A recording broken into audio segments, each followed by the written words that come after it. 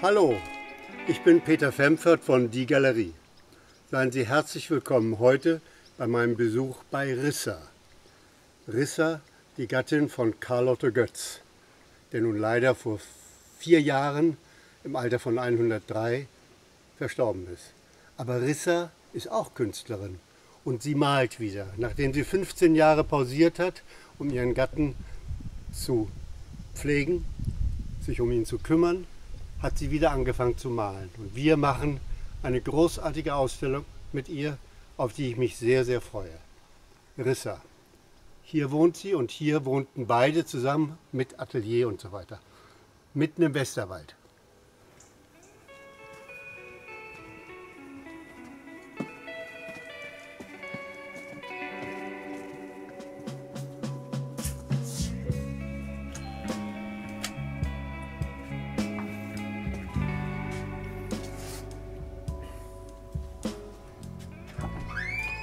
Hallo. Hallo, liebe Rissa. Ich bin da. Ich habe schon so lange gewartet hier. Hallo, hallo. Ja. Da ist auch noch eine andere Dame hier. Da ist noch Die jemand, der filmt, ne? filmt sogar für uns. Wollen wir gleich mal ins Atelier gehen? Wir können ins Atelier gehen. Ja. Das ist das Atelier von Rissa und und Götz. Das ist jetzt das Atelier von Rissa. Früher war es das Atelier von Carlotte Und Götz. hinten das kleine. Das war für mich. Für mich.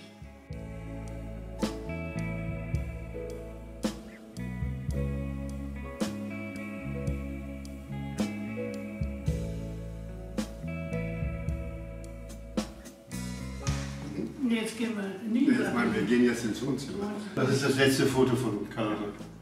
Da war schon äh, 103. Ja, und das ist die, äh,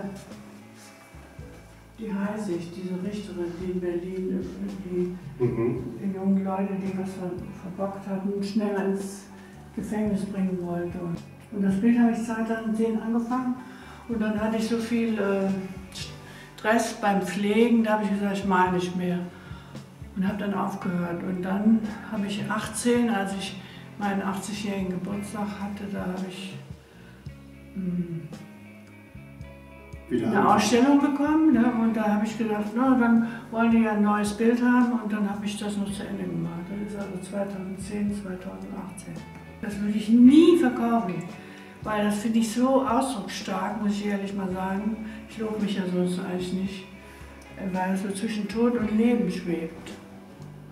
Mhm. Und das ist ein spätes Bild auch von Carlotto. Da hat er einen, einen Schwung hat er da gemacht.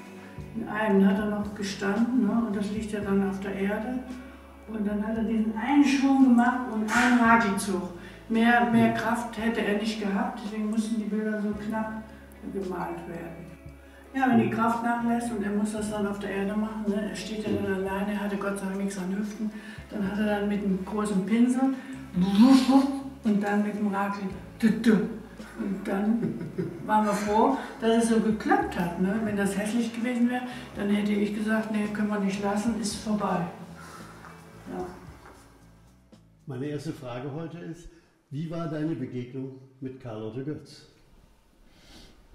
Ja, ich bin ja habe ja an der, von 1961 äh, ab in der Kunstakademie Düsseldorf studiert und dann hatten wir eine Probeklasse und die, äh, da bin ich rausgeflogen und äh, da bin ich nicht wie alle anderen äh, einfach brav nach Hause gegangen, sondern ich habe unten im Flur vom Hausmeister laut geschrien, ich verlasse diese Akademie nicht und habe das öfter wiederholt. Aber laut. Ja, war riesig laut. Und da kam zufällig ein Studienkollege, der das Ding bestanden hatte und er sagte, komm, wenn es dir so nahe geht, dann suche ich dir hier so einen Lehrer. Und unten waren die ganzen Privatateliers und da hat er geklopft und dann hinten hat er dann eins geöffnet gefunden und da trat dann der Karl Otto raus und sagte, ja, ja, wenn Sie wollen, dann können Sie sie ja am Samstag mal äh, herschicken, um elf. Und dann hat er mir das, diese Botschaft gebracht. Ich war schon recht zufrieden, bin nach Bochum zu meinen Eltern wieder gefahren und dann äh, habe ich bis Samstag schnell noch gearbeitet. Dann habe ich die neuen Arbeiten mitgebracht und bin dann wieder um 11 Uhr in Düsseldorf erschienen und Karl Otto machte die Tür auf, nachdem ich geklopft hatte. Und dann standen wir uns schon Auge und Auge gegenüber und da wusste ich schon, das ist mein Schicksal. Und eines Tages wusste er, dass er mit mir zusammenleben will und dann haben wir letztendlich 65 geheiratet. Toll. 1965. Wie hast du dich als Malerin gegen eine so starke Person, eine so starke Persönlichkeit wie Karl Otto behaupten können? Also weiß Gott, Karl Otto war insofern eine sehr starke Persönlichkeit. Er hat ja nicht viel Krakel gemacht und hat auch nicht immer rumgedonnert oder so, sondern der hat immer gewusst, was er wollte und was er dachte. Und wenn irgendein Quatsch um ihn herum zum Beispiel erzählt wurde, wo er meinte, so ist es nicht, dann hat er immer nur ganz lakonisch gesagt, wenn ihr wüsstet, wie es wirklich ist. Und so eine Sätze, die habe ich natürlich dann auch gehört. Und ich war damals ein ganz stilles Mädchen oder Frau, junge Frau, die überhaupt nicht so rumgeredet hat und nicht, wenn man mich heute äh, erlebt und mir, mich stellt einer eine blöde Frage, da sage ich sofort, also was haben Sie schon mal darüber nachgedacht, dass die Frage gar nicht stimmt oder so, da fange ich sofort an zu reden. Damals überhaupt nicht. Da habe ich nur gelernt. Mhm. Von ihm habe ich nur lernen können. Ich habe vor allen Dingen die naturwissenschaftliche Denken über die Welt, das habe ich von ihm gelernt. Und das geisteswissenschaftliche Denken, was in Deutschland in der Schule so üblich war, ne, da ging es immer um, äh, wird Deutschland kommunistisch oder wird es nicht kommunistisch, links und so weiter. Das, äh, das interessierte ihn überhaupt gar nicht. Mhm. 2018 hast ja. du wieder angefangen zu malen. Wie ist dein Anspruch ähm, an deine Malerei? Ja, ich bin ja auch durchs Informell gegangen und ich habe also das, die Abstraktionshöhe, das ist so ein Wort, was Karl Otto auch mal benutzt hat, die Abstraktionshöhe, und das würde auch auf einen Raphael zutreffen, eines Bildes macht die Größe eines Bildes aus, also die Bedeutung. Wenn, wenn die Künstler wirklich jeden Punkt an dem Bild, jedes Flächenstückchen äh, sozusagen kontrolliert malen. Ne? Mhm. Und äh, das ist für ihn der bedeutende Künstler. Und er hat ein riesiges Kapitel jetzt hinterlassen. Ich will ja noch ein Buch von ihm herausgeben, hat er noch Text hinterlassen. Da hat er Malen und Gefühl hat er da angesprochen. Und da hat er also gegen diesen Satz, der immer gesagt, ich male meine Gefühle oder sowas, da hat er gegen den polemisiert. Also ist er angegangen. Also das lehnt er ab. Wir, wir Künstler malen äh, nicht Gefühle, sondern wir malen Farbempfindung, Ausdehnung. Und das sehen wir dann. Das ist zu hell, das ist zu dunkel, das ist zu breit, das ist zu kurz und das ist zu dies. Ne?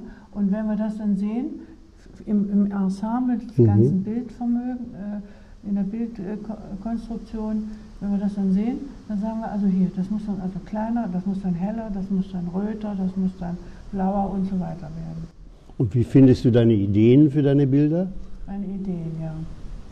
Die sind auf ganz verschiedene Weise. Ein, entweder, naja, also nehmen wir mal jetzt mein, also einer der letzten Bilder mit dem Corona, äh, äh, Fledermaus spuckt hm. oder schluckt, äh, wo so eine Fledermaus mit einem, mit einem Virus, Virus, im Maul gemalt ist. Mhm. Äh, da ist natürlich der Auslöser ganz profan diese Corona-Sache.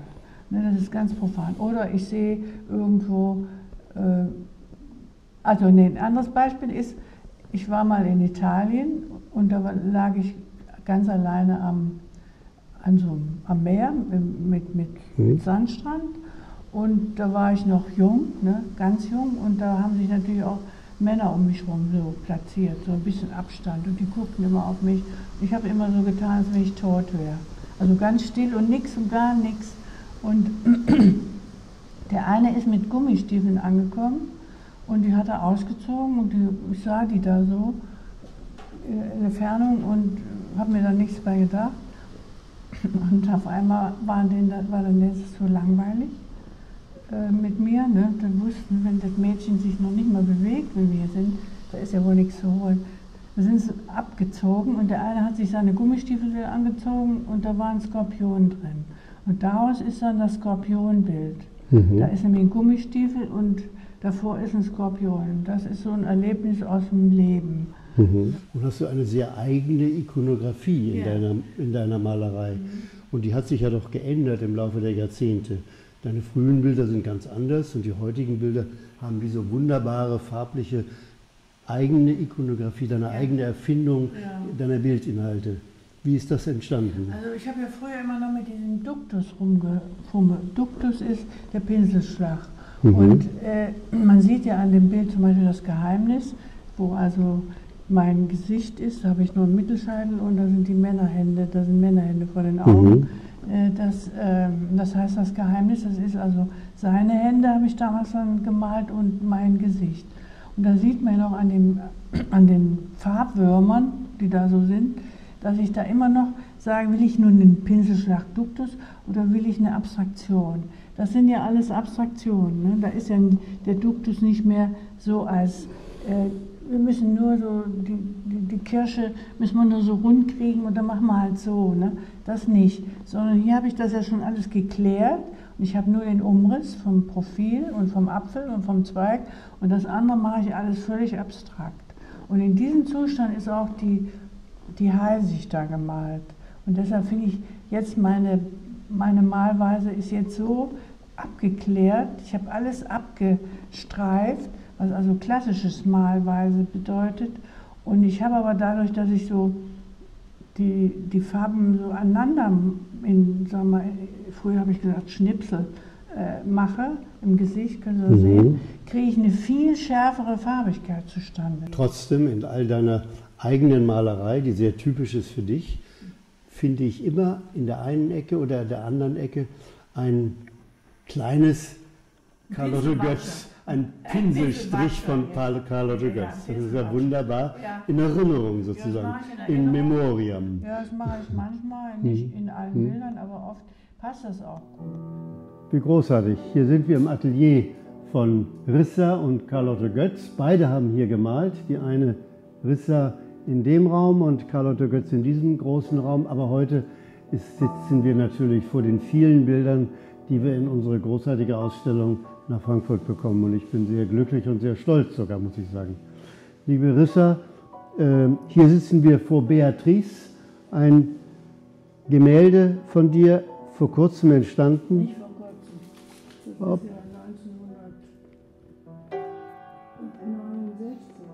1969 schon entstanden. Was für ein schlechter Kunsthistoriker dir hier gegenüber sitzt, der nicht einmal genau das Datum der Bilder kennt. Also dieses wundervolle Bild Beatrice mit den beiden Hasen drauf. Kannst du etwas dazu sagen? Naja, ich habe ja äh, Kunstgeschichte, habe ich Jugendstil gemacht und da bin ich auch auf äh, Rossetti gekommen und bin auch äh, mit dem Namen, dem Modell Beatrice in Verbindung gekommen. Da suchte ich ein, ein ausdrucksstarkes Gesicht mit Locken und so weiter. Und da habe ich halt das als Modell genommen, die Beatrice. Und habe dann natürlich meine Privat... Äh, Thematik oder sagen wir Allegorie da reingesetzt. Also ich male Bilder, die alle eine geheime Botschaft also an die Betrachter geben, aber das ist nicht äh, irgendwie linear christlich oder sonst was, sondern es ist eben in unserer modernen Welt von allem etwas. Und hier äh, ist also die Beatrice äh, vor einem Gitter, äh, hinter einem Gitter, das Gitter ist vor ihr und mit ihr sind zwei Hasen da. Also einer von der Seite ein dunkler und ein heller von vorn. Und damit habe ich schon symbolisieren wollen, wir sind alle im gleichen Gefängnis. Die Tiere und die, Menschen. die Menschen. Hm. Ja, der Affe ist jetzt vor dem Gitter. Ne? Der Affe ist. ähm, Hinter dem Gitter. Sind die hinterm Gitter? Aber du kannst natürlich sagen, die sind auch vor dem Da ist es auch hinter dem Gitter. Der Affe ist auch hinter dem Gitter. Der ist vor dem Gitter, weil hinten gelb, wenn er, Mhm. in der, in der, er wäre ja dunkel. Der ist jetzt, kommt jetzt von der schönen Sonneneinstrahlung. Ah, der guckt von draußen in das Draußen Gitter ist ja hinein. Das Gitter, ne? Und wir sind im Gitter. Und wir hier sind schon im Gitter. So, dieses Bild zum Beispiel, was da drüben äh, steht, ähm, das ist der, der Kopf eines Menschen, der Ja, herausragt. eine Zelluloidpuppe. Das ist Ah. eine Zelluloidpuppe. Mhm. Das ist mein, mein äh, äh, Thema Umweltverschmutzung. Also ich Mhm. wollte nicht äh, da so eine olle Flasche rausragen lassen, eine Plastikflasche oder irgendeine so eine Bahne, sondern Mhm. ich wollte etwas Künstliches da rein ins Meer und eben kein Baby. Und der Mensch erwartet ja ein Baby, wenn überhaupt. Aber er war, es ist eine Zelluloid-Puppenkopf. Mhm. Das ist also auch ein Kunststoff, der im Meer rumschwimmt, der gehört da auch nicht rein. Und dieses kleine rote, diese kleine Ja. rote Fläche, Ja. die heißt Achtung Rot. Das Bild heißt ja auch Achtung Rot. Aha. Das ist also ein Stückchen Kunststoff, ne? aber das ist nur, um, um die, wenn, wenn man das mal mit dem Finger weghält, dann merkt man, ist das Bild auch ganz nett, aber so kriegt es noch eine gewisse äh, pikante Note. Und das interessanteste Bild in diesem Raum ist natürlich dieser unglaublich große fliegende Engel, den du hier. Und den der du kommt hier von der hast. Erde ne? Ja, und äh, hat als Antrieb Ja. seine Pulsadern geöffnet. aha. Und, die, und auch, auch aus dem Finger kommt da Blut raus. Und das ist Und der. das ist der Antrieb von der Erde kommend, heißt das. Aha. Also es ist ihm nicht gut bekommen, mal nachzugucken, wie es den Menschen geht. Der guckt also von oben auf die. Nee, der fliegt ja von unten nach oben, der Aha. fliegt ja da hoch jetzt. Aber guckt auf die Erde runter. Ja, ja. Guckt auf die Erde und Er hat die Nase voll. die Erde unten ist dieser Strahl von Karl Otto Götz sozusagen. Und der fliegt in die Nacht hinein sozusagen. Ja? Der zu Gottes Füßen und berichtet ihm, was da unten vor sich geht. Du hast völlig schlechte Arbeit geleistet.